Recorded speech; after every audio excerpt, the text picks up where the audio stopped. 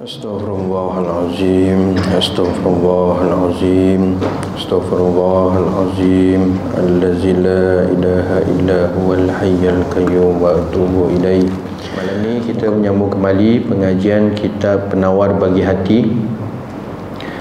Karangan Syekh Abdul Qadir Al-Mandiri Rahimahullahu Ta'ala. Dan kita sampai muka surat 31 eh perenggan bawah sekali tu. Dan ada pun berbantah-bantah. Ha, sampai situ eh.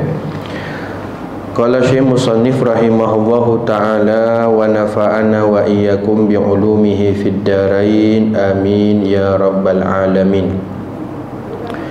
Dan ada pun berbantah-bantah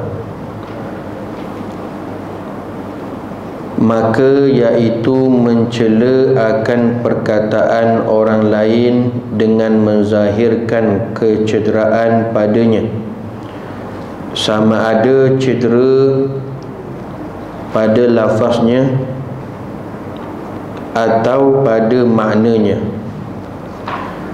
Maka perkara yang seterusnya iaitu perkara yang ketiga yang perlu kita jaga kata Syekh Musannif rahimahullahu taala. Dalam kita usaha untuk memelihara lidah kita maka perkara yang ketiga yang perlu kita tahu iaitu berkenaan tentang berbantah-bantah.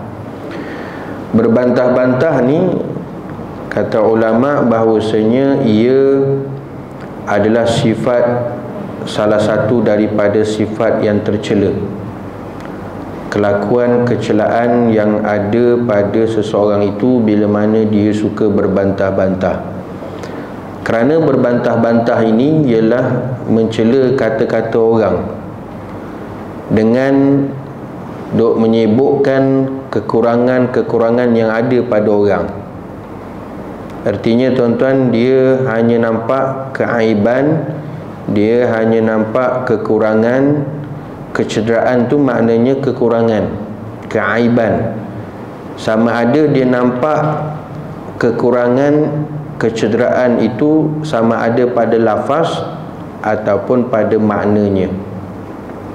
Bila satu orang dia ada nampak perkara kecederaan ataupun perkara kekurangan yang ada pada orang lain maka sebenarnya tuan-tuan itulah cerminan yang ada pada diri dia. Cerminan yang ada pada diri dia. Kerana bila dia nampak kekurangan dia nampak kecederaan dia nampak keaiban orang lain artinya dia pun ada kekurangan. Dia pun ada keaiban. Yang mana keaiban kecederaan kekurangan tersebut tidak sunyi daripada diri dia tidak hilang daripada diri dia. Tidak luput daripada diri dia. Maka oleh itu kata ulama maka sibukkanlah dengan kekurangan yang ada pada kita. Sibukkanlah dengan keaiban yang ada pada kita. Sibuklah dengan kecederaan yang ada pada diri kita berbanding kita sibukkan yang ada pada orang lain. Maka termasuk perkara yang perlu dijauhkan iaitu berbantah-bantah Berbantah-bantah ni iaitu dia mencela kata-kata orang. Ha, Dengan menyebut apa? Menyebut kekurangan yang ada pada orang tu lah. Ada keaiban yang ada pada orang tu disebut. Ha, Dia kata ha, Dia berbantah-bantah. Bermula yang membangkitkan atas berbantah-bantah itu dua perkara. Lalu kata ulama apa punca yang terjadinya berbantah-bantah? Ada punca dia maka ini antara punca bantah membantah di antara satu sama lain. Maka puncanya di sini kata ulama ada dua perkara. Ada dua perkara yang menjadi punca yang menyebabkan sikap bantah membantah antara satu sama lain. Masing-masing melihat mencela mengaibkan menyebutkan kekurangan yang ada pada orang lain. Ada dua punca ini ada kalanya kerana meninggikan diri dengan menzahirkan kelebihan dirinya. Punca yang pertama berlaku bantah membantah kadang-kadang kerana ingin menonjolkan diri. Ha, menzahirkan maknanya menonjolkan diri dia. Nak menunjukkan diri dia itu hebat. Dengan menonjolkan kelebihan-kelebihan uh, diri mereka sendiri ha, sebab itu ini yang punca yang berlaku suka bergaduh berbantah-bantah antara satu sama lain. Masing-masing untuk menzahirkan menonjolkan diri itu hebat. Ha, dengan menzahirkan kelebihan-kelebihan yang ada pada diri masing-masing. Ya masing-masing kita ni ada kelebihan antara satu sama lain. Dan dalam masa yang sama kita tetap ada kekurangan. Kita tetap ada keaiban. Kita tetap ada perkara-perkara kecelaan. Kerana kita manusia bukan maksum kita tidak perfect. Pasti di sana ada kekurangan. Jadi bila masa seseorang itu dia hendak menzahirkan menonjolkan dirinya hebat kepada orang lain dengan menzahirkan kelebihan diri sendiri ah, itu yang berlaku sifat ataupun sikap bantah membantah antara antara satu sama lain dan ada kalanya kerana tabiat yang jahat yang suka menghinakan orang lain. Punca yang kedua berlaku bantah membantah kadang-kadang kerana ada apa? Kerana ada perangai yang buruk. Apa perangai buruk? Dia ni suka duk menghina orang lain. Memang dah tabiat dia ataupun perangai buruk yang ada pada dia duk suka hina orang lain bila dia tak buang sikap duk suka hina orang lain merendah-rendahkan orang lain menjatuhkan orang lain maka ini perkara ini boleh berlaku menyebabkan bantah membantah antara satu sama lain. Sebab itu kata ulama unsur dalam tasawuf kalau kita lihat dalam sifat iradah dalam pengajian sifat 20 ada disebutkan kaitan antara sifat kudrah berkuasa sifat iradah berkehendak sifat ilmu dan sifat hayah kalau kita mengaji sifat 20 Tauhid pengajian sifat 20 Dia ada kaitkan antara sifat kudrah Sifat iradah Sifat ilmu Dan juga hayah Allah Ta'ala menjadikan Ataupun ijad Menjadikan Dan juga Allah Ta'ala meniadakan makhluk Dengan sifat apa? Dengan sifat kudrah dengan sifat kudrah yang ada padanya yang ada pada Allah Taala.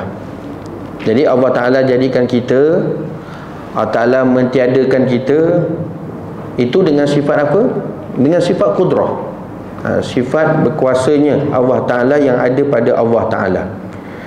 Jadi sifat kudrah ini sifat kudrah ini dia mengikut iradahnya, mengikut kehendaknya Allah Taala.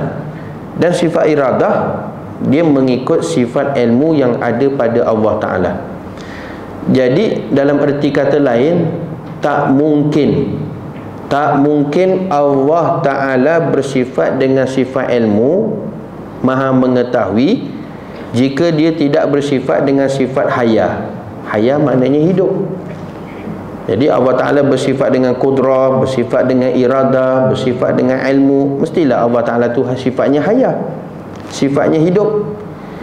Jadi oleh itu sifat ilmu tidak ada jika tidak ada sifat ayah jadi kata ulama kalau begitu sifat ilmu ni dia takkan ada. Jika tak ada sifat ayah. Tak ada sifat ayah dia tidak ada sifat ilmu. Ha, adanya sifat ayah adanya sifat ilmu. Maha mengetahuinya Allah subhanahu wa ta'ala.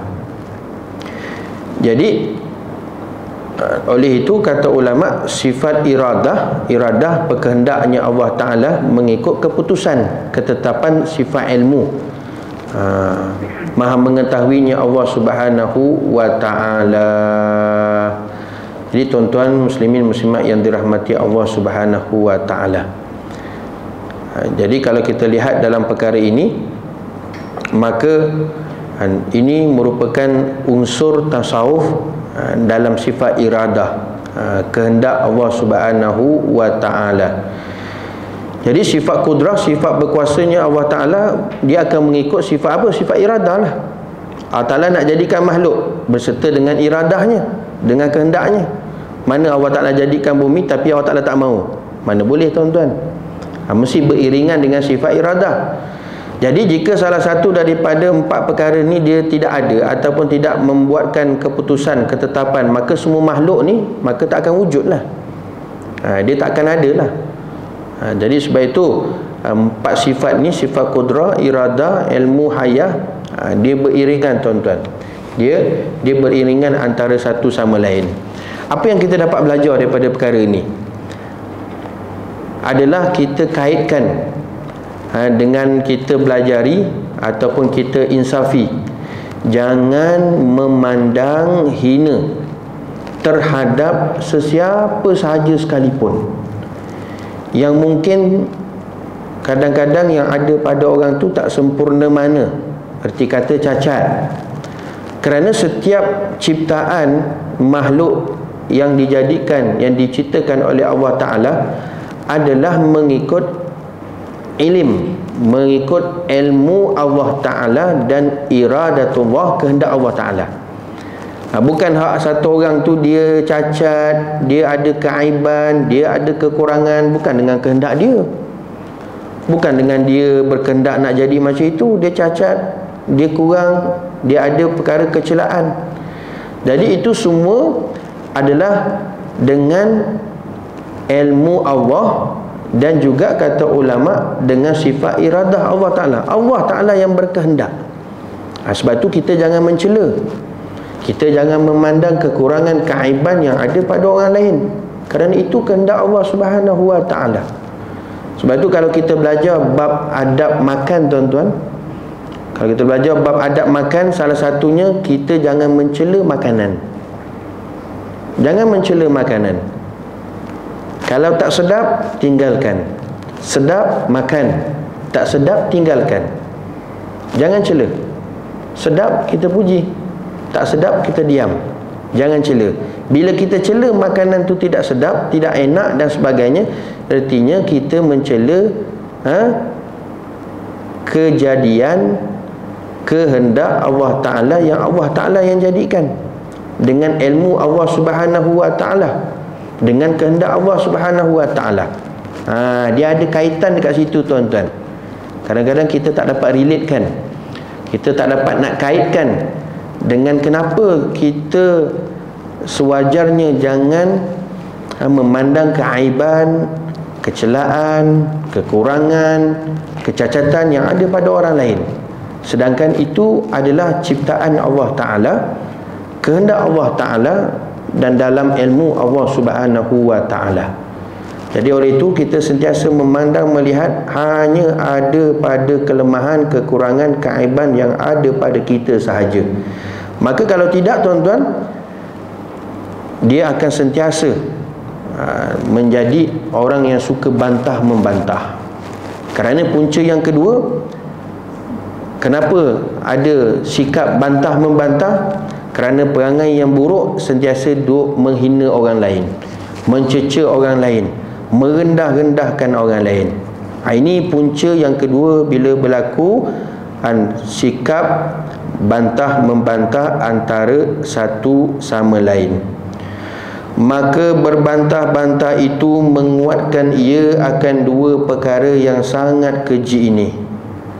Ha, jadi sikap bantah membantah tak lain dan tak bukan tuan-tuan bila dua perkara ni wujud tidak lain dan tidak bukan dia makin menyemarakkan lagi menghebatkan lagi apa dia dua perkara yang sangat dicela ini ha, maka akan terus menerus ha, bantah membantah antara satu sama lain sebab itu kata ulama hari ini kita kena belajar tuan-tuan Kadang-kadang kita tak berapa gemar, tak berapa suka hak dengan ada pada orang tersebut. Ia mungkin pada hal dia, pada sikap dia, pada perangai dia, pada tutur kata dia, tapi kalau boleh simpan tu semua. Simpan. Ha, jangan dikeluarkan. Jangan ditonjolkan. Jangan dizahirkan. Bila kita zahirkan, tunjurkan tuan-tuan kelemahan yang ada pada orang, ya memang kita tak suka contohnya, kita pun sebut secara tidak sedar tuan-tuan sebenarnya kita menonjolkan sifat kecelaan kita apa dia kita tunjuk diri kita hebat kita tunjuk diri kita ni tinggi mulia dan sebagainya. Sebab tu kalau boleh simpan simpan. Ha, senyap pendam pendam tuan-tuan. Jangan duk zahirkan jangan duk sebut. Ha, jangan duk sebut. Kerana dalam masa kita tak sedar di situ menunjukkan kita ni nak menzahirkan kelebihan yang ada pada diri sendiri. Itu kadang-kadang kita tak perasan. Kita tak perasan. Kerana diam itu lebih baik sebenarnya daripada kita zahirkan ketidakpuasan hati kita. Dan kepada orang lain yang apa yang kita tidak suka. Maka bila ini ada sampai bila-bila berterusan dia akan ada sikap bantah membantah di mana saja dia pergi akan dia bawa sikap bantah membantah di mana saja dia berada maka dia akan ada sikap bantah membantah dengan siapa? Dengan siapa-siapa kerana dia tidak hilangkan dia tidak keluarkan dia tidak kosongkan hati dia ha, daripada sifat ha, menonjolkan diri sendiri menzahirkan kelebihan yang ada pada diri sendiri maka dengan perangai buruk tersebut suka merendahkan menghinakan mengaibkan orang lain maka inilah dua perkara yang sangat dicela. Artinya di situ dia tidak dapat menjaga lidahnya dengan sebaik mungkin. Maka sebab itu sebaik-baik manusia sebenarnya dia dapat memelihara lidah dia daripada menyakiti orang lain. Itu sebaik-baiknya. Kita jaga sungguh-sungguh lidah kita yang dijadikan oleh Allah Ta'ala banyakkan menjadikan asbab anggota kita itu untuk meraih redha Allah jangan kita gunakan anggota kita yang Allah Ta'ala berikan ni satu nikmat untuk kita meraih kemurkaan Allah kita usaha untuk meraih mardatillah keredaannya Allah Subhanahu wa taala. Tuan-tuan muslimin muslimat yang dirahmati Allah. Bahkan yang wajib atas engkau bahawa engkau membenarkan akan barang yang engkau dengar daripada perkataan yang sebenar. Ha, ini macam mana tuan-tuan sikap yang sewajarnya yang perlu ada pada kita. Jadi kata Syekh Musannif rahimahullah taala sikap yang paling wajar, sikap yang paling sepatutnya yang ada dalam diri kita, dalam hati kita dalam perkara ini ialah tak lain dan tak bukan wajib engkau membenarkan apa sahaja yang didengar jika ia perkara yang benar. Ha, jika perkara yang betul tu kita ia saja. Orang tu tu kata apa? Enggeh je tuan-tuan. Ha, jangan duk banyak menyampuk jangan duk banyak mencela. Perkara betul-betul ya saja. Ha, itu yang sewajarnya sikap yang sewajarnya kata ulama. Yang paling wajar dalam perkara ini untuk salim untuk selamat lidah kita daripada kebinasaan tak lain dan tak bukan tu je lah wajib tuan-tuan kata ulama atas engkau bahawa engkau membenarkan akan barang yang engkau dengar daripada perkataan yang benar. Benda tu betul lah. Ha, diam sajalah iakan sajalah. Ha, jangan duk tukuk tambah ke dan sebagainya. Nanti melarat tuan-tuan. Dan juga kata ulama bahawa engkau diam daripada barang yang engkau dengar daripada perkataan yang salah. Masya Allah Allahumma salli ala sayyidina Muhammad. Ini yang payah tuan-tuan. Payah mana? Benda tu salah Ustaz. Benda tu Eh tak betul lah. Eh saya memang tak boleh lah. Ah, Maka apa dia tuan-tuan sikap yang sewajarnya? Maka kata ulama Apa sahaja Yang kita mendengarnya Dan hendaklah diam sahaja jika salah. Ha, Dengar dengan perkataan yang salah Apa dia sikap sewajarnya diam. Tapi tengok sambung lagi ayatnya tuan-tuan. Takkan nak diam je. Melainkan ha, ada kecuali kat situ. Ada istisna dekat situ. Pengecualian. Bukan diamnya semata nanti jadi syaitan bisu ha, perkara mungkar. Sebab kita perkara mungkar perkara yang salah ta'muru nabil ma'ruf wa tanhauna 'anil munkar. Ha, duk cegah perkara mungkar. Melainkan apabila ada pada menyebutnya faedah yang bangsa agama ha, jadi kata ulama kalau hak perkara yang kita dengar yang kita tahu itu memang salah dan diam diam saja tuan-tuan. Jika memang ia salah. Melainkan jika hak nak khabar nak betulkannya yang mana kita sebut yang mana kita cakap yang mana dibetulkannya itu membawa kepada kebaikan kepada agama. Silakan. Artinya ada manfaat kebaikan pada agama Islam silakan. Ha, boleh duk khabar boleh duk tegur boleh duk nasihat. Jangan diam saja jika apa jika syaratnya ada kebaikan pada agama tapi kita hari ni hak nak tegur, nak tak puas hati dengan salah tapi tak ada kaitan dapat manfaat pada agama. Nampak zahir nak menonjolkan kelebihan yang ada pada diri sendiri. Ditipu syaitan tuan-tuan. Sebab tu hati-hati dalam kita menegur, dalam kita memberi nasihat, dalam kita memberikan mau'izah, peringatan-peringatan pastikan lillahi ta'ala. Lillahi ta'ala. Ada kebaikan manfaat untuk agama. Silakan tafadhal. Tapi hati-hati syaitan cerdik syaitan alim syaitan pandai tuan-tuan. Ha, bila kita beri nasihat ha, nampak engkau ni alim. Engkau ni pandai engkau ni salih. Nampak engkau nampak nampak kesilapan yang ada pada orang. Ha, padahal kita di situ tidak ada kebaikan yang ada pada agama. Maka itu sebenarnya ditipu oleh syaitan kerana menonjolkan kelebihan yang ada pada diri sendiri. Jadi kata ulama kalau hak benda itu salah sekalipun diam. Melainkan melainkan jika membetulkannya maka ia membawa kepada kebaikan agama. Silakan tak jadi masalah. Maka menyebut engkau akan dia dengan lemah lembut.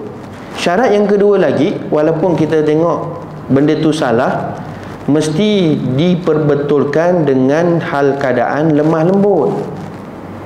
Jangan dengan emosi. Jangan dengan campur hawa nafsu. Apatah lagi libatkan dengan bisikan hasutan syaitan. Na'uzubillah na'uzubillah. Sebab itu sebelum bercakap fikir dulu. Ada tak kebaikan manfaat kita ni? Bila kita kabur ada kebaikan untuk agama tak? Iman meningkat tak? Ha, lepas tu cara kita betulkan tu adalah dengan lemah lembut. Dengan lemah lembut. Sebab tu Syekh Mansur bin Muhammad Al-Quraizi rahimahullahu taala pernah berkata man yarkabur rifqah la yastahkibu zalala. Siapa yang menggunakan kelembutan dia tidak akan tergelincir. Siapa yang berikan teguran Berikan pembetulan Berikan peringatan Nasihat Dengan hal keadaan Dengan lemah lembut. Ha, Dengan itu hikmah. Dengan lemah lembut Dengan kelembutan La yastahkibu zalalah. Maka dia tidak akan tergelincir. Dia tidak akan tergelincir. Bahkan Imam Syafi'i rahimahullahu ta'ala juga pernah menyatakan yukhatibuni safihu bikulli. Kubhin fa akrahu an akuna lahu mujibah. Orang yang dungu orang bodoh ni orang dungu mengajakku berbicara dengan penuh kekasaran. Lalu aku enggan menjawabnya. Ha, sebab apa? Kalau orang yang safi safi ni orang yang bodoh orang yang dungu ni kalau dia duk cakap dengan kita caranya kasar caranya dengan tak penuh hikmah dengan penuh kekasaran dan sebagainya maka jangan layan tuan-tuan. Ha, maka jangan jangan dilayan. Kerana itu Imam Syafi'i sebut an aku lahu mujibah aku tak layan pun aku tak jawab pun apa yang dia yang dia bicarakan. Tuan-tuan muslimin hadirin yang dirahmati Allah. Sabda Nabi sallallahu alaihi wasallam man tarakal mira'a wa huwa muhikkun buniya lahu baitun fi a'lal jannah wa man tarakahu huwa mubtilun bunyalahu baitun fi rabatil jannah. Rasulullah sallallahu alaihi wasallam bersabda artinya barang siapa meninggalkan ia akan berbantah-bantah. Dia tak suka bergaduh tuan-tuan. Dia tak suka berbadah. Walaupun dia rasa dia boleh menang tapi dia tinggalkan berhujah. Dia tinggalkan berbantah dia tinggalkan bergaduh antara satu sama lain. Dan dia tinggalkan berbantah-bantah pada ketika ia yang sebenar. Siapa yang meninggalkan perbuatan berbantah-bantah sedangkan dia benar? Dia berada di pihak yang betul. Kalau kita tuan-tuan ni lacannya. Kita bantai habis-habis. Kita pancung dia. Aku betul. Aku benar tapi tuan-tuan Nabi kata siapa yang dia ketepikan dia tinggalkan perbuatan sikap berhujah berbantah bergaduh sedangkan walaupun dia berada di pihak yang betul nesaya akan dibina. Ha, kata Nabi SAW apa dia? Nesaya diperbuat iaitu dibina baginya rumah pada setinggi-tinggi syurga. Masya Allah Tabarakallah ni balasan tuan-tuan. Allah Ta'ala kurniakan nanti di hari akhirat di dunia ni dia tekan nafsu dia. Dia pendam tuan-tuan. Dia tinggalkan perbuatan yang bantah padahal dia betul dah. Dia di pihak yang benar. Maka dia tinggalkan berbantah-bantah sedangkan dia berada di pihak yang betul. Nabi kata lahu baitun fi a'la jannah Allah Ta'ala bina Allah Ta'ala buat sebuah rumah untuknya di tempat paling tinggi di dalam syurga. Kerana direndahkan ketika mana tak mau berbantah-bantah ketika mana di dunia dulu walaupun dia berada di pihak yang benar. Ah, macam tuan-tuan boleh buat tak? Tapi kena belajar-belajar juga. Kena usaha.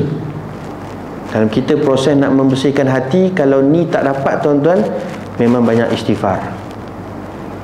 Memang banyak istighfar. Ha, maknanya jauh lagi hati kita untuk usul untuk sampai ke hadatillahi subhanahu wa ta'ala. Sebab memang kita di pihak yang benar. Apa lagi peluang lah ni? Tapi kalau ditinggalkan tuan-tuan Masya Allah tak ugi akhirat. Nampak di dunia mungkin dia kalah.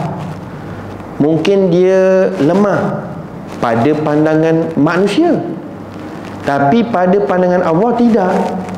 Orang yang tinggal berbantah-bantah Bergaduh ni berkelahi Walaupun dia di pihak yang betul Maka akhirat balasannya Allah Ta'ala bina satu rumah dalam syurga. Satu mahligai dalam syurga Yang mana mahligai itu setinggi-tinggi Iaitu paling tinggi dalam syurga. Nanti hak bila tengok ini mahligai siapa Istana siapa, rumah siapa ni Masya Allah, tabarakallah kan? Sebab dalam syurga macam-macam istana macam-macam mahligai macam-macam rumah masing-masing tuan-tuan. Ada besar ada kecil ada yang sederhana ada yang tinggi ada yang rendah. Maka dilihat ini rumah siapa ni? Paling tinggi dalam syurga. Tak lain tak bukan di dunia dulu dia tak suka duk bergaduh berbala berbantah. Walaupun hal keadaan dia di pihak yang benar. Tuan-tuan muslimin hadiri yang dirahmati Allah dan barang siapa meninggalkan akan dia pada ketika yang salah. Dan juga kata Nabi wasallam siapa yang meninggalkannya meninggalkannya yang ini berbantah-bantah. Sedangkan dia memang di pihak yang tak betul di pihak yang tak benar di pihak yang salah. Allahumma salli ala sayyidina Muhammad nescaya diperbuat baginya rumah pada keliling syurga. Ha, Masya Allah Tabarakallah. Nescaya kata Nabi SAW akan dibina sebuah rumah juga untuk dia di dalam syurga. Tapi hak rumah tu keliling dibina oleh Allah Ta'ala sekeliling dalam syurga. Bukan satu biji rumah. Kalau dah keliling syurga tuan-tuan Masya Allah panjang besar kerana dia mengelilingi ataupun sekeliling syurga. Ini bagi siapa? Bagi orang yang dapat merendahkan hati dia diri dia meninggalkan sikap berbantah-bantah bergaduh walaupun dia salah. Kerana orang sekarang ni hak salah pun nampak betul. Eh kita kena hujah Ustaz. Kita kena lawan. Nanti nampak sangat kita salah nampak sangat kita tak betul. Oh makin dia hujah lagi makin dia bantah. Nak menzahirkan tunjukkan dia tu betul. Na'udzubillah tapi kalau dia tahu bahawa dia tu tak benar dia tak betul maka dia reda tuan-tuan. Dia tarik diri. Dia tarik handbrake. Dia tak mahu duk bantah-bantah. Dia tak mahu duk, duk gaduh-gaduh. Tak ugi tuan-tuan. Akhirat kata Nabi SAW bunyalahu baitun fi rabadil jannah. Allah Ta'ala buat rumah dia sekeliling di dalam syurga. Dan syurga tu rumahnya keliling. Ha, keliling syurga, syurga tu rumah dia. Ini siapa? yang meninggalkan berbantah dan walaupun dia di pihak yang yang salah. Tuan-tuan muslimin hadirin yang dirahmati Allah Bermula yang demikian. Masya Allah Bermula yang demikian itu kerana meninggalkan berbantah atau yang sebenar itu lebih suka sebab apa yang tadi? Yang pertama dia tinggalkan berbantah bergaduh walaupun dia betul. Tapi ganjarannya Allah Ta'ala bagi rumah dia paling tinggi dalam syurga. Kenapa? Kerana nak buat tu semua tuan-tuan nak amalkan ni tinggalkan bantah bergaduh walaupun kita betul benda payah tuan-tuan benda sukar benda susah jadi mana yang masyakahnya besar, kesukarannya besar, maka ganjarannya besar lah. Ha, ganjarannya be besar. Ha, macam contoh solat fardu lima waktu tuan-tuan. Solat fardu lima waktu. Ha, solat fardu lima waktu ni di antara solat yang paling besar ganjarannya iaitu kata ulama solat fardu subuh. Solat fardu subuh. Kenapa solat fardu subuh tu ganjarannya besar? Kerana sukar dan payah untuk menjaganya dan melakukannya. Ramai orang hanyut tuan-tuan subuh ni. Kalau tak hanyut pun orang tu tu kata apa? Subuh gajah. Ha, dah. Kenapa gajah tu? Sebab gajah besar. Maknanya dah nak habis tu, dah nak habis subuh dah tu. Ha, dah nak habis subuh. Tapi kalau orang dapat jaga subuh ni tuan-tuan, masya-Allah, apatah lagi dengan berjamaah di masjid, maka pahalanya besar. Ganjarannya besar kerana masyakahnya besar. Sebab itu kita kena faham sunatullah. Mana-mana masyakahnya besar, kesukarannya besar, maka pahalanya besar. Ha, pahalanya besar. Ha, sampai Nabi SAW menyatakan apa? Man salla subha fil jama'ah faka'annama qama lailata kullu siapa yang dapat jaga solat subuh secara berjemaah maka dicatatkan pahala seolah-olah qiyamul lail sepanjang malam ha, pahala qiyamul lail tak pernah tidur tuan-tuan hak dapat bila kita jaga subuh. Ha, sebab apa pahalanya besar? Kerana masyarakatnya besar. Kesukarannya besar. Ha, begitulah tuan-tuan. Kerana apa? Yang pertama tadi ah, ganjarannya rumahnya paling tinggi dalam syurga kerana nak meninggalkan berbantah-bantah ni nak bergaduh ni Allahu Akbar. Sangat sukar sangat payah tuan-tuan. Susah sangat-sangat susah. Ah, sangat-sangat uh, payah. Dan sabda Nabi sallallahu alaihi wasallam la yastakmilul abdu hakikatal iman hatta yada'al mira'a wa huwa muhikun artinya tiada sempurnakan tiada menyempurnakan oleh hamba itu akan sebenar-benar iman. Hingga meninggalkan ia akan berbantah-bantah pada ketika ia sebenar. Nabi kata Allahumma salli ala sayyidina Nabi menyatakan orang yang dapat hakikat keimanan yang sebenar artinya iman yang sempurna seseorang itu bila dia dapat meninggalkan ha, sikap berbantah-bantah sikap bergaduh berkelahi sedangkan dia dalam keadaan benar. Hadis riwayat Ibnu Abi Dunya kesempurnaan iman tuan-tuan. Ha, hakikat keimanan seorang itu belum sempurna selagi mana dia ha, meninggalkan. Sehinggalah dia meninggalkan sikap berbantah-bantah Allahumma ja'alna minhum. Mudah-mudahan Allah jadikan ha, kita golongan orang yang ha, meninggalkan ha, perkara berbantah-bantah walaupun hal keadaan itu pihak kita berada di pihak yang betul ataupun di pihak yang benar. Dan ada pun ha, apa tu tuan-tuan? Ha, siapa boleh sebut? Ha, yang yang yang Rumi tak boleh sebut lah dia mengelat yang Jawi tu. Yang Jawi ada kitab jawi? Ada jawi? Ha, apa tuan-tuan? Dan ada pun apa tu? Melawak. Ha, ha, melawak. Kan kalau dia tak dia salah sebut lain bunyi dia. Ha, dan melawak. Eh melawak apa ni? Berseluruh. Ha, bergurau. Ha, dan ada pun melawak iaitu bergurau ataupun berseluruh. Ha, dan seluruh. Ha, tu pun ada sebut tu maka berlebih-lebihan padanya membanyakkan ia akan tertawa-tawa. Perkara yang keempat tuan-tuan yang perlu kita jauhkan dalam kita menjaga lisan ini iaitu melawak. Melawak. Orang siapa tak suka melawak tuan-tuan? Terhibur hati tak? Ha, terhibur hati. Tapi hati-hati tuan-tuan. Ha, orang yang melawak orang yang suka hanya lawak saja ada kaitan apa yang ada pada hati dia. Tu yang kadang-kadang tuan-tuan minta maaf dalam ceramah pun dia suka duduk lawak. Ha, kadang-kadang netizen kita tu lah tuan-tuan. Kami sukalah ustaz tu. Kenapa? Lawak lah dia. Pecah perut kami ketawa dalam ceramah dia dalam kuliah dia. Oh sukalah kita duduk. Ha, senang hati. Hibur hati kami.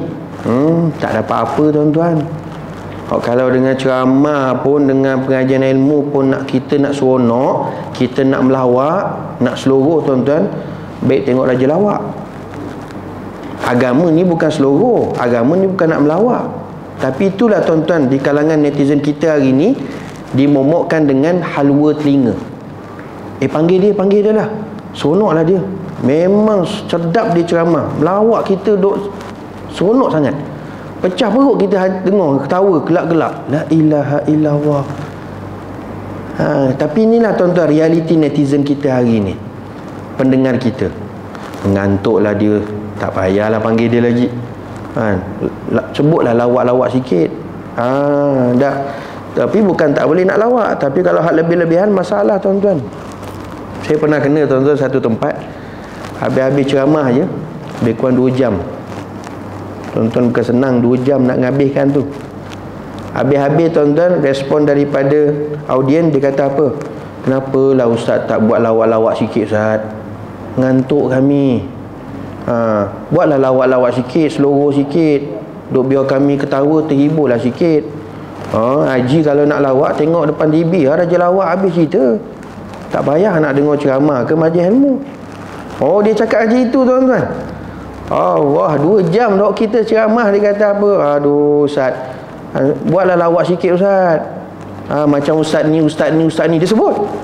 Ha, kalau nak ustaz tu ustaz tu panggil lah ustaz tu. Kenapa panggil saya? Ha, tak. Kita bukan nak dok melawak-lawak tuan-tuan dok seluruh. Dunia ni singkat hidup ni. Takkan hidup dunia yang singkat ni kita nak banyak dok melawak dok nak sedap hawa tinggal nak, nak duduk seluruh dan sebagainya tak Maka sebab itu antara kelakuan yang yang tercela minta maaf tuan-tuan melawak.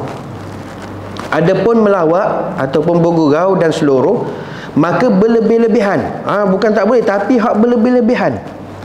Ya Allah Ustaz, semalam dengar ceramah 2 jam macam tak rasa 2 jam. Geli hati kami, ya Allah, sedap betul dibuat lawak. Eh, yang tu raja lawak ke penceramah? Dah dia penceramah Ustaz, memang sedap ha, dekah-dekah kami ketawa. Ha, tu hak lebih-lebih. Ha, itu yang berlebihan tu. Mubalarah tak boleh. Perkara apa jua sekalipun tuan-tuan kita jangan duk lebih-lebih. Jangan berlebihan kalau termasuk melawak ataupun seluruh pun dengan berlebihan padanya membanyakkan ia akan tertawa-tawa. Ha, belebihan akan menyebabkan banyak ketawa. Ialah bila dah seluruh tuan-tuan ketawa lagi pula tuan-tuan seronok orang yang buat lawak tu ada pula yang orang yang dengar ni audien dia, dia dia ketawa. Makin galak dia tuan-tuan. Makin ga, galak. Sampai berlebihan bergurau berseluruh menyebabkan banyak ketawa. Ha, banyak ketawa. Orang banyak ketawa ni impak dia apa tuan-tuan? Dan mematikan ia akan hati. Allah bila hak duk banyak seluruh berlebihan banyak duk gurau maka banyaklah ketawa. Bila banyak ketawa mematikan hati. Bila hati mati ni tuan-tuan sebenarnya tak ada faedah lagi dia hidup dah atas dunia. Khatamallahu ala qulubihim. Hati mati ni Allah taklah kunci dah. Tak ada faedah dah. Duk beri nasihat ke teguran ke peringatan dia tak ada. Dia mantul. Dia tertolak sawaun alaihim a anzartahum am lam tunzirhum la yu'minun. Kata Allah Taala wahai nabi wahai rasulullah wahai Muhammad ada orang kafir ni hati mati. Tak ada hidayah tak hidup. Allah Taala kata sawaun alaihim a anzartahum sama saja wahai Muhammad kamu duk beri nasihat khabar kepada dia. Am lam tunzirhum la yu'minun. Ataupun kamu tak beri pun nasihat mereka tetap tidak beriman ha, tu bahaya hati mati tuan-tuan. Tu bahaya hati hati mati. Sebab tu pastikan tuan-tuan Allahumma salli ala Muhammad hati kita sentiasa hidup. Hati kita jiwa kita sentiasa sentiasa hidup. Maka salah satu yang boleh mematikan hati iaitu banyaknya ketawa. Puncanya banyak ketawa banyaknya bergurau. Banyak seluruh. Eh dalam belajar pun nak berad, nak bergurau juga. Eh dalam menuntut ilmu pun nak berseluruh juga. Oh jangan tuan-tuan. Jangan. Ha, jangan duk banyak gurau, jangan duk banyak uh, berlebih-lebihan dalam berseluruh. Apatah lagi kita dalam menuntut ilmu jaga adab sungguh-sungguh. Ha, jaga adab sungguh-sungguh. Hatta tuan-tuan adab belajar ni, adab menuntut ilmu ni tuan-tuan, hatta kalau kita duk nak cakap dengan kawan kita pun kalau boleh hindarkan. Sampai tahap begitu. Sebab apa kita takut duk tegusi hati orang yang menyampaikan tazkirah, ceramah dan sebagainya. Kerana mungkin beranggapan oh ini dia ngumpat aku lah ni. Ha, sampai begitu sekali tuan-tuan. Kami diajar didik kalau duduk ni diam-diam 2 jam. Tak ada nak cakap dengan kanan ke kiri ke dan sebagainya. Itu adab yang tinggi. Ha, sampai begitu sekali. Apatah lagi bergurau-gurau dalam belajar. Ha, bergurau-gurau dalam majlis ilmu, maka hindarkan maka bila berlebihan maka menyebabkan uh, ketawa yang banyak maka boleh mematikan hati. Dan menyebabkan ia akan dendam. Allah Akbar. Oh, rupanya punca yang berlaku ada dendam di hati. Ah, berbuku di hati dendam di hati tu puncanya sebab hati tu mati. Bila punca daripada hati tu mati banyak ketawa. Banyak ketawa puncanya ah, berlebih-lebihan dalam bergurau dan menghilangkan akan keadaan ditakuti sungguhnya. Ha, dan menghilangkan perasaan takut. Artinya kat situ. Ha, dan yang ketiga tuan-tuan impaknya apa lagi? Kalau berlebihan dalam melawak berseluruh dia akan hilangkan perasaan khauf takut kepada azab Allah tak ada dia takut dengan azab Allah. Bacalah ayat-ayat tentang azab Allah Taala. Ha, duduk orang yang kekal khalidina fiha abada, orang yang kekal dalam api neraka selama-lamanya. Tak dia tak ada rasa tak takut pun tuan-tuan. Ha, itu itu kalau duk bila kita dengar perkara-perkara azab, ha, perkara-perkara ancaman daripada Allah tapi hati kita tak tak terusik pun. Hati kita tidak tergetar pun. Hati kita tidak tercuit tuan-tuan itu maknanya kita tidak ada khauf takut kepada Allah. Hilang takut kita kepada Allah. Punjanya cepat jadi apa? Banyaknya berlebih-lebihan bergurau. Telah bersabda Rasulullah sallallahu alaihi wasallam la tumari akhaka wa la tumazih artinya jangan membantahi engkau akan saudara engkau dan jangan engkau melawak dan berseluruh dengan dia. Ha, ini pesan Nabi tuan-tuan. Yang pertama Nabi pesan jangan kamu berbantah-bantah. Hindarkan jauhkan suka bergaduh berbantah berkelahi. Dengan sesiapa sekalipun? Adik-beradik kawan kita jiran kita dan sebagainya. Wala tumazih. Dan yang kedua Nabi bagi nasihat jangan kita melawak dengan dia. Yang ini secara lebih-lebihan sikit-sikit boleh lah tuan-tuan. Ha, orang kata tak ceria pula duk hidup ceria je ustaz ni. Ha, sikit-sikit boleh tapi jangan berlebih-lebihan. Macam makan minum juga tuan-tuan. Boleh tak makan minum? Boleh. Yang tak dibenarkan apa? Jauhkan. Iaitu berlebih-lebihan. Kulu washrabu wala tusrifu. Makanlah nak makan apa ji silakanlah. Baung ke patin ke makanlah. Nak minum apa? Minumlah apa-apa ha, macam-macam jenis air ada tapi kena ingat wala tusrifu. Jangan duk lebih-lebih. Ah jangan duk berlebih-lebihan. Ah, Masya Allah Tabarakallah. Nampak? Ha, jadi apa jua sekalipun kalau berlebih-lebihan itu memang disarankan hindarkan. Hatta kita melawak sekalipun jangan kita berlebih-lebihan dengan kawan-kawan tapi tuan-tuan memang dia, dia dia memang dah kaki lawak tuan-tuan. 24 jam masih melawak je. Tak payah dengar dia cakap. Tengok dia pun dah lawak dah. Oh bahaya tuan-tuan. Kalau hak tengok dia kita dah geli hati oh masalah besar. Kerana apa?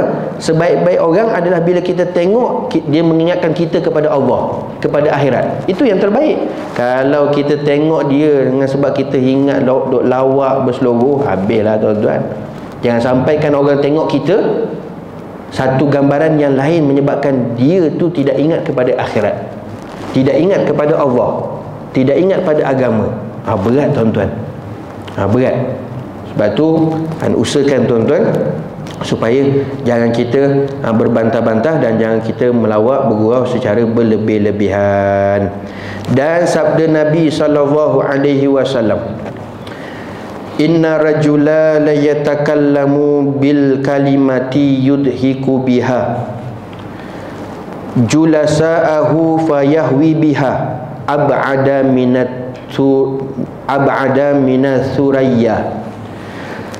Artinya bahawasanya seorang laki-laki sungguhnya berkata ia dengan satu perkataan. Yang menjadi ia dengan dia tertawa-tawa sekalian yang duduk sertanya satu orang tuan-tuan dia bercakap. Ha, dia berkata-kata. Yang mana dia bercakap dia berkata-kata tu walaupun dengan satu perkataan menyebabkan orang yang dengar tu dia ketawa. Ha, dia ketawa. Allahumma salli ala sayyidina Muhammad. Menyebabkan orang yang mendengar tu dia dia ketawa. Maka jatuh ia dengan sebab lebih jauh daripada bintang Ah, bintang Suraya.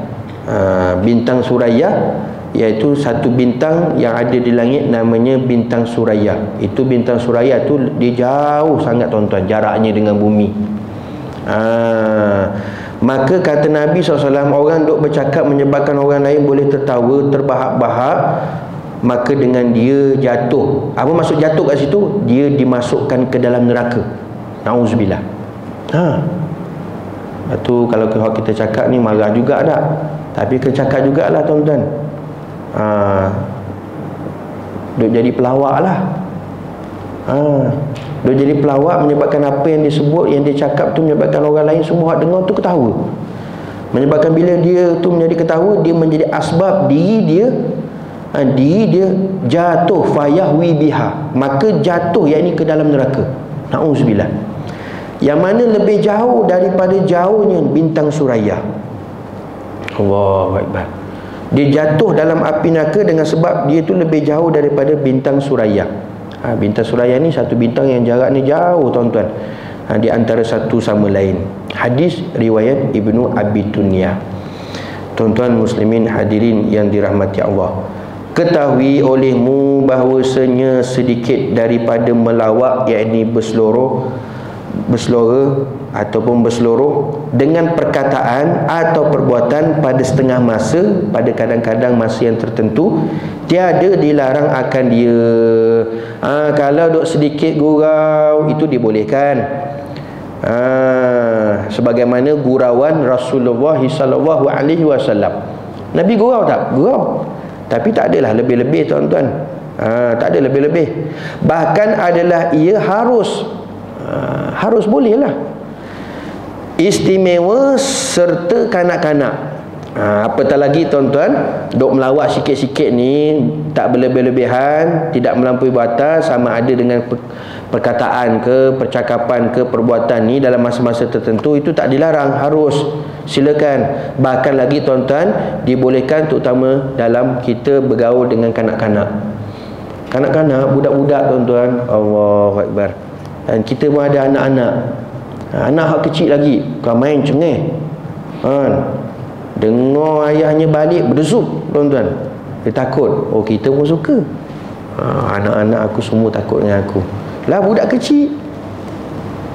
Sebab tu Nabi ajar cara hak didik anak apa? Ha, cara didik anak apa? Tujuh tahun yang pertama apa dia? Tala'ub. Main-main. Gua-gua dengan dia. Duk, bukan duk serius. Budak-budak tuan-tuan.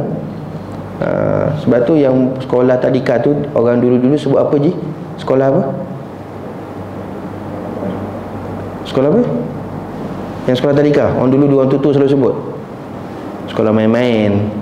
Ha, ha, sekolah main-main Ustaz. Ha, biarlah dia main-main dengan kawan dia gurau. Ha, sekolah main-main kan? Ha, dia sebut sekolah main-main. Ha. Fasa tujuh tahun yang pertama talak kata Nabi. Ha, main-main. Ha, gurau-gurau lah ha, tapi bukan hak lebih-lebihan. Tapi bukan duk boleh-bolehan bahkan boleh harus. Apatah lagi dengan ha, terhadap kanak-kanak. Dan perempuan. Ha, dan orang perempuan. Orang perempuan masuk sini pasangan lah tuan-tuan. Yang sah isteri lah dengan perempuan orang lain. Ha, anak perempuan ha, isteri ha, jangan bini orang tuan-tuan. Ha, masalah besar. Tak boleh. Ha, kena gurau. Ha, suami walaupun ibadah macam mana sekalipun kena ada ha, gurau sendiri dengan dengan dengan isteri. Hmm. boleh je. Ha, sesekali apa salahnya main nyorok-nyorok dah main nyorok-nyorok ha, ha, Pak Haji balik tu dia tahu Pak Haji balik daripada masjid tu ha, Mak Haji sorok dalam almari. Nyuruk Kan Pak Haji kan bila balik dia tanya Mana Mak Haji ni? Tak ha, Orang perempuan ni tuan-tuan Ibu, mak ni Hak dalam rumah diseri pada rumah. Ha, Kata guru saya tuan-tuan Orang tua ni Perempuan lah perempuan. Mak, ibu, ibunda Orang rumah ni Rumah tu dia sebagai seri.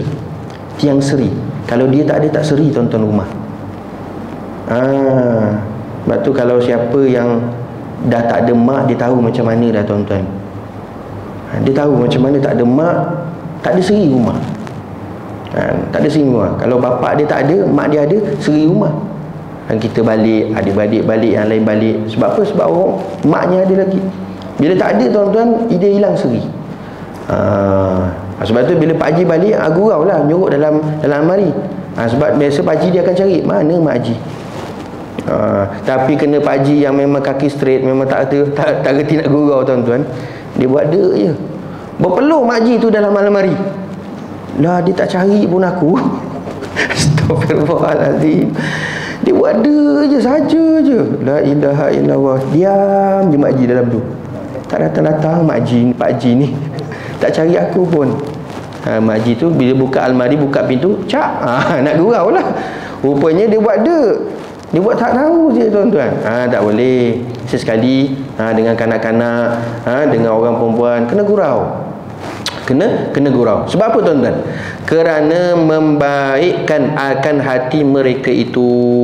Masuk membaikkan, menghiburkan, menggembirakan hati mereka. Mereka tu siapa? Kanak-kanak tadi, orang perempuan tadi, isteri, ibu dan sebagainya.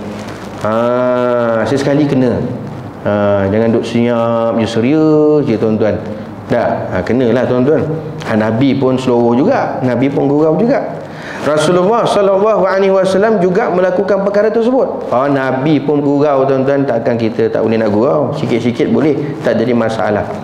Ha, sesungguhnya diceritakan akan yang demikian itu daripada Rasulullah sallallahu alaihi wasallam. Tetapi bersabda ia inni la amzahu wa la aqulu illa haqqa. Nabi kata inni la amzahu wa la aqulu illa haqqa. Sesungguhnya artinya bahawasanya aku berseloroh yakni melawak. Ha Nabi kata aku gak melawak aku berseloroh ha, Nabi tu maksum tuan-tuan ha, Habibullah Sayyidul Muslim pun Nabi kata aku pun melawak aku pun berseloroh ha, wala aqulu illa haqqa dan tidak berkata aku melainkan akan yang sebenar. Ha, tapi hak gurau gurau juga tapi hak gurau kita tu benda yang kita gurau tu benda yang betul benda yang benar. Hadis riwayat Imam Tabrani dan bersabda ia dengan seorang perempuan yang tua. Ha, ni antara bentuk gurauan Nabi SAW yang dibenarkan. Yang Nabi sendiri buat. Ha, antaranya antaranya bersabda ia bagi seorang perempuan. Bersabda ia ia Nabi SAW bagi seorang perempuan tua. Satu hari Nabi SAW pernah bersabda kepada satu orang perempuan yang dah tua dah apa kata Nabi SAW la yadkhulul jannata ajuz. Kata Nabi orang tua tidak masuk syurga. Artinya tidak masuk syurga perempuan yang tua. Oh, Nabi cakap dengan perempuan yang dah tua tu Nabi kata la yadkhulul jannata ajuz. Ayo, wahai makcik ha, Bahasa mudah gitulah. Wahai makcik minta maaf. Kan, Orang tua tak masuk syurga. Dala yang Nabi khabar tu Makcik tua ha, Maksudnya apa? Perempuan yang sudah tua Tak akan Apa nama Dia tidak akan terus tua Ketika masuk syurga. Tu maksudnya sebenarnya. Ha, tu maksud Nabi SAW La yadkhulu jannah ajuzun. Tiada masuk syurga perempuan yang tua. Artinya tiada berkekalan. Uh, tiada berkekalan ia tua di dalam syurga. Kerana ahli syurga semuanya muda-muda. Ganteng-ganteng semua ha, disebutkan dalam hadis salasa wa salasin. 33 tahun semua tuan-tuan. Muda tak muda? Tak ha, yang ni kita dah umur 40 lebih 50 lebih 60 lebih. Bayangkan masa umur 30an dulu. Macam mana? Bukan main tuan-tuan. Tak hmm, sikat kat belakang tak pernah tinggal. Ha, smart je. Baju tie in. Bukan main. Ha, rambut belah tepi. Contohnya lah. Ha, ahli syurga tuan-tuan dia semua muda belaka dia tak tua. Ha, itu maksud Nabi SAW maksud Nabi SAW kata Nabi tiada berkekalan. Maksudnya perempuan yang sudah tua tidak akan terus tua ketika masuk syurga. Ha, ahli syurga nanti dia masuk syurga juga tapi muda. Ha, tapi dalam keadaan muda. Kalau dengar macam ini tuan-tuan ha, Makcik-makcik, makji semua kecil hati dah. Ha, Jangan risau makcik. Semua kita nanti dalam syurga Semuanya muda-muda belaka ha, Bahkan dijadikan dia muda pada ketika masuk ke dalamnya Ke dalamnya syurga. Ha, Dia akan dikembalikan nanti umurnya menjadi muda Ketika masuk ke dalam syurga nanti. Walaupun kita mati tua contoh Tapi bila kita dimasukkan ke dalam syurga Umur kita menjadi muda. Ha, umur kita menjadi muda. Seperti mana muda yang disebutkan dalam satu riwayat? 33 tahun dan diriwayatkan bahawasanya berlumba-lumba ia akan Siti Aisyah radhiyallahu taala anha ha, dengan berlari dan lagi antara lagi tuan-tuan dalam riwayat pernah Nabi berlumba lari dengan Sayyidatuna Aisyah radhiyallahu taala anha Oh, Nabi lumba lari tuan-tuan. Macam tadilah Pak Ji. Mak Ji dia nak gurau, dia nyorok dalam almari. Boleh? Boleh. ha, dah. Boleh tak ada masalah. Nabi pun gurau berlumba lari dengan isteri baginda Nabi SAW Sayyidatuna Aisyah radhiyallahu taala anha. Allahumma salli ala sayyidina Muhammad.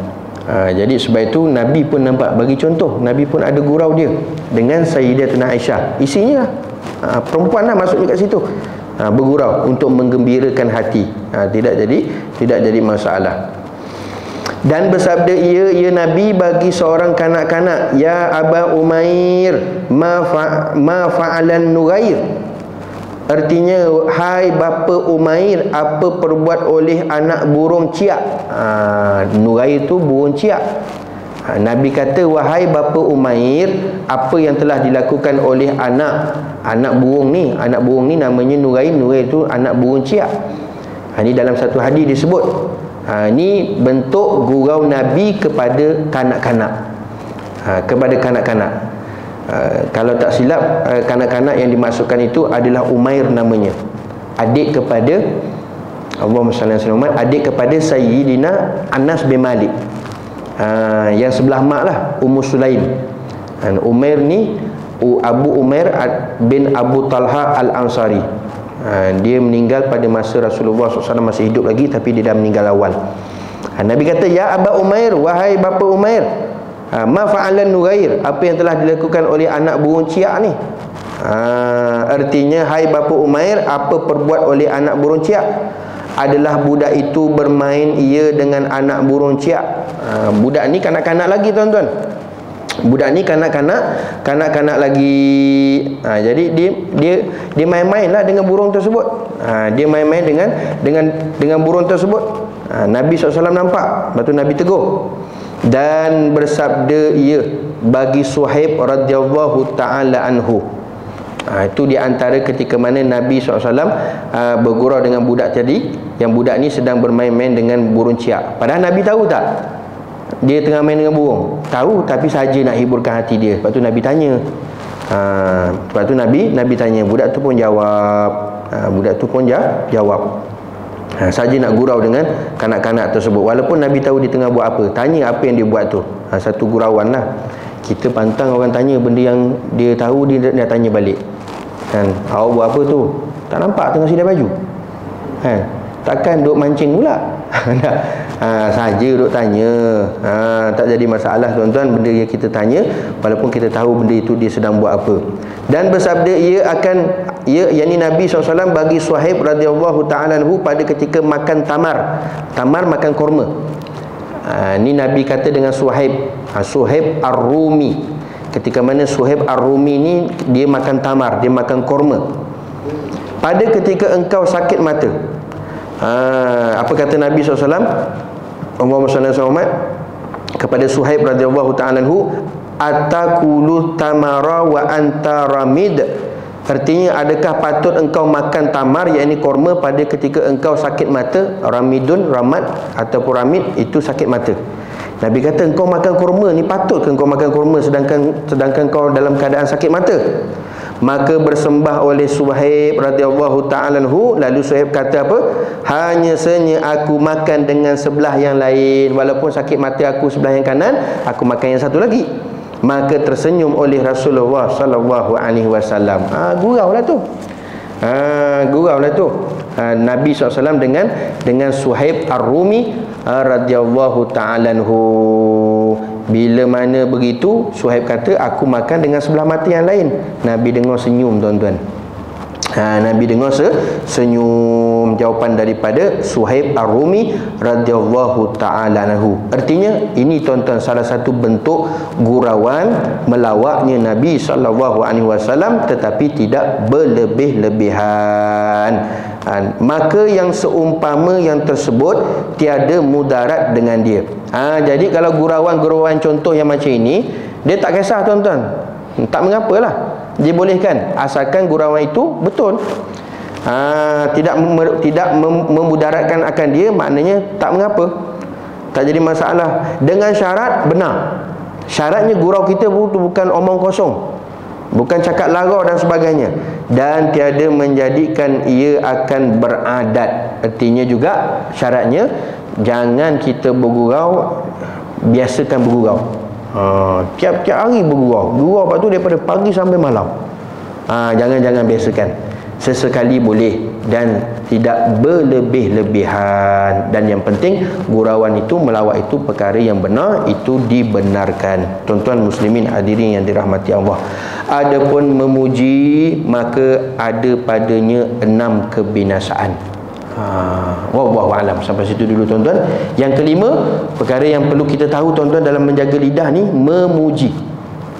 Memuji ni tuan-tuan jangan bukan tak boleh puji boleh tapi jangan lebih-lebihan. Ha, bila satu orang dipuji dengan berlebihan maka dia akan ditimpakan enam kebinasaan apa kebinasaan dia yang dia dapat? Kita sambung nanti pada pertemuan yang akan datang insya-Allah. Mudah-mudahan Allah Subhanahu taala pelihara iman kita pelihara hati kita bersihkan hati kita daripada perkara-perkara yang tercela sombong riak sum'ah takabur dan sebagainya. Mudah-mudahan insya-Allah kita dapat hiaskan perkara-perkara sifat-sifat yang mahmudah perkara yang terpuji sampailah kita diberikan dicampakkan nur makrifat kepada Allah Subhanahu wa taala sehingga kita menjadi hamba yang bertakwa di sisi Allah dan akhirnya menjadi asbab kita mati dalam keadaan Islam, iman dapat mengucap dua kalimah syahadah husnul khatimah insya-Allah. Dan akhirnya kita semua dimasukkan ke dalam syurga oleh Allah Subhanahu wa taala. Allahumma amin. Amin ya rabbal alamin. Mudah-mudahan bermanfaat. Kita dapat amal dan sampaikan. Panjang umur nanti kita jumpa nanti pada pertemuan yang akan datang. Wallahu taala a'lam. Wal afwa minkum. Hadza wabillahi taufiq wal hidayah. Wassalamu alaikum warahmatullahi wabarakatuh